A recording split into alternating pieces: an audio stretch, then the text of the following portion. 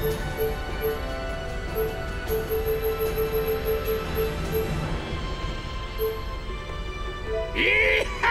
we go!